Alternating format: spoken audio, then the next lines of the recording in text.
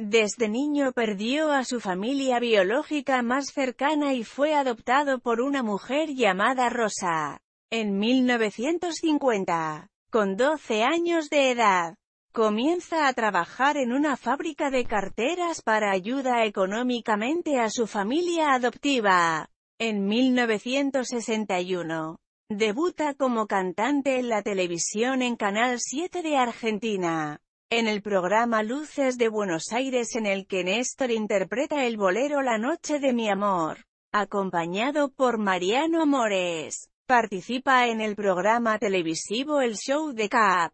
Se destacó como solista. Fabián comienza a grabar discos con la empresa Odeon.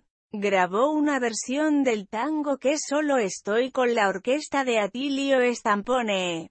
Participa como actor de teatro en las comedias musicales Buenos Aires de Seda y Percal Buenas noches. Buenos Aires en el Teatro Astral en Buenos Aires. Junto a Mariano Mores, Virginia Luque y Susi Leiva. En 1964 es seleccionado por Roma y para ser protagonista en la telenovela Todo es Amor junto a Violeta Rivas. Participa en programas juveniles de la nueva ola argentina. Los directivos de Canal 9 Argentina lo convocan para el programa Sábados Continuados, conducido por Antonio Carrizo. Se hizo famoso como cantante en el Club del Clan.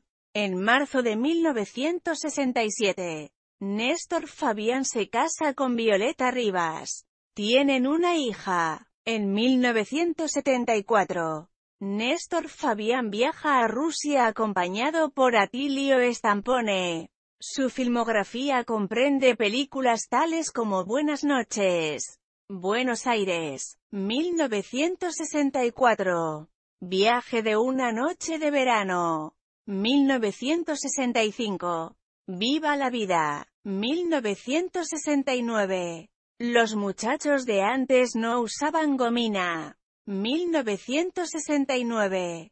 Pasión Dominguera, 1970. Y Balada para un mochilero, 1971. En 1988. Es invitado a cantar en Granada, España, junto a la orquesta de Osvaldo Requena. Viaja a Portugal para actuar en Lisboa. Hasta la fecha, mayo de 2013. Néstor Fabián continúa interpretando tangos tales como El último round, Tinta roja, Cordón, El último café, Contame una historia, Los mareados y Sur.